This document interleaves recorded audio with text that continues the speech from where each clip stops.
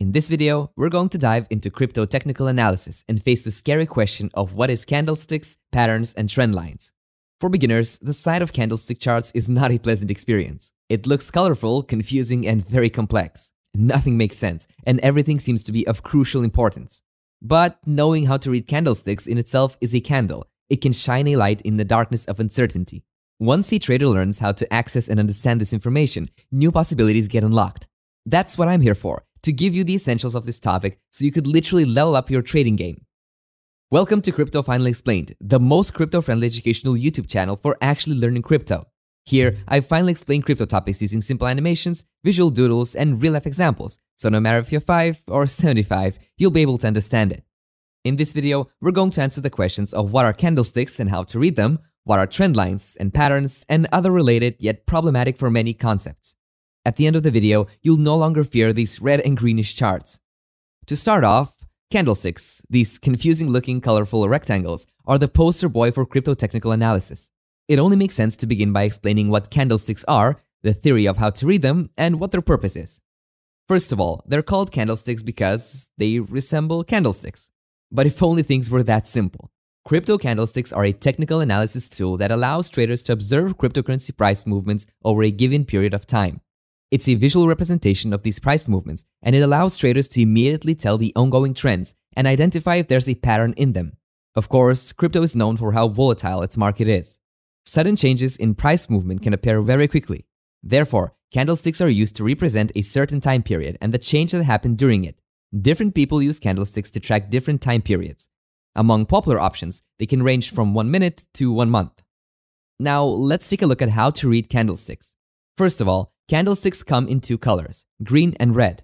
A red candlestick means that the cryptocurrency's price decreased during the set trading period. To be a bit more precise, it shows that the crypto's closing price was lower than the opening price. A green candlestick means that its price increased during the same trading period. Similarly, it shows that the coin's closing price was higher than the opening one. To comprehend this better, it's crucial to have a clear understanding of what opening and closing prices are. The opening price is the price of a coin at the start of a particular time period. The closing price, naturally, is the price of the coin at the end of that time period. These time periods are set manually and depend on what traders are interested in. Here's an example. Right now, Bitcoin's price is different than it's going to be by the end of this video. So a candlestick would represent Bitcoin's price movement during these minutes, what was its price at the very start of this video, and how it will look by the end of it. If the price increased, the candlestick would be green, and it would be red if it had gone down. But what are those little wicks at the top and bottom of each of the candlesticks? Also known as tails or shadows, the candlestick wicks represent the highest and lowest price points reached during the time period. You'll easily notice that most of these wicks differ in length. Let's say you see a red candlestick with the wick at the top of it being longer than the one at the bottom. This shows that the particular crypto's price reached a high point during the set time period, but at the end of it, it fell back down and the closing price was lower than the opening one. Now, if the wick on the bottom of the candlestick is longer, this signifies the opposite. It shows that the asset's price fell significantly during the set time period, but eventually recovered and its closing price was higher than the opening price. Therefore, such a candlestick would be green. Simply put, knowing how to read candlesticks allows traders to plan their next move. Thanks to this method, they can recognize potential assets' price patterns and therefore make more informed decisions. But what are patterns actually and how to recognize them? In the context of crypto, patterns refer to specific shapes within a price chart that are recurring from time to time. They suggest what the prices may look in the near future based on how they've looked in the past. It's the crypto version of noticing repetitive, cyclical patterns of behavior. So, candlestick patterns are exactly that Various cryptocurrency prices behave rather unpredictably, but nevertheless, patterns appear.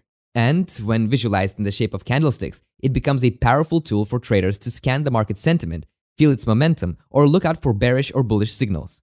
By the way, if you want to learn more about what those bearish and bullish signals are, come check my channel. I've got a video explaining exactly that. Okay, so back to candlestick patterns. Let's take a look at some well-known patterns that every serious trader could recognize in a second. Specifically, let's begin with a few notable bullish patterns. First, the hammer pattern. It's called that because this candlestick looks more like a hammer than a candle. It's a famous bullish reversal pattern which is formed at the bottom of a downtrend. So, whenever traders notice it, they can predict price movement with more certainty. Another bullish pattern is known as the bullish engulfing.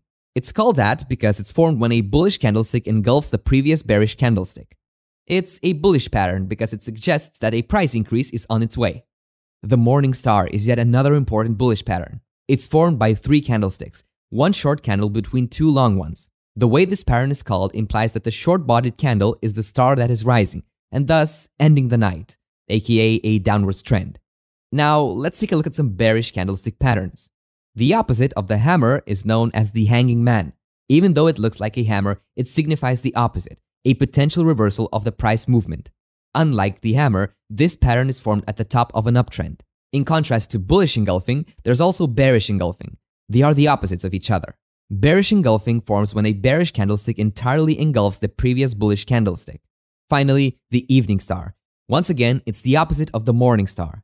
It consists of three candlesticks, yet with their meanings inverted. Thus, the evening star pattern suggests that the day, aka an uptrend, is coming to an end and it's about to get dark. But experienced traders are not afraid of it. They know that they can light their way using candles. Candlestick charts have even more potential. Apart from forming patterns that help traders navigate through the sea of uncertainty, they also provide data so that trend lines could be drawn. But what is a trend line?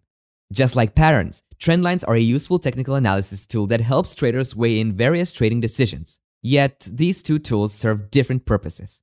When you connect the high or low points of candlesticks with a straight line, you end up with a trend line. Its main purpose is to identify the direction of the trend, whether it's an uptrend or a downtrend. For example, a trend line that's drawn by connecting the lowest points of candlesticks is referred to as support. It's a level below which the price is not expected to drop even lower. Therefore, knowing at what price the support level is allows traders to evaluate the situation of various coins in more precise values.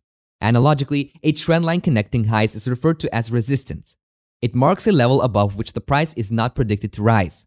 So, thanks to trend lines, traders are able to avoid such emotions as FUD or FOMO because if they're aware of the price's resistance level, no rumors are going to convince them to jump on any bandwagon without any critical evaluation of their decision. By the way, if you want to learn more about the role emotions play in the crypto market, be sure to check out my video about this subject. So, trend lines help traders recognize in what direction the market is currently going. Meanwhile, candlestick patterns allow them to identify likely changes in these trends. Quite obviously, these tools are supplementary to each other, and it's not a surprise that most professional traders use them both, in addition to multiple others. Having said that, it's time to call it a wrap. I hope that with all of this new information, the question of what is a candlestick has become clear as day, and that the questions of what is a pattern and what is a trend line have been answered, and that these terms will become part of your vocabulary and eventually second nature. If you have any questions, want to learn more about a particular subject, or have any insights, head straight to the comments section and let me know. Now, if you find content like this valuable, make sure to like the video and subscribe to the channel.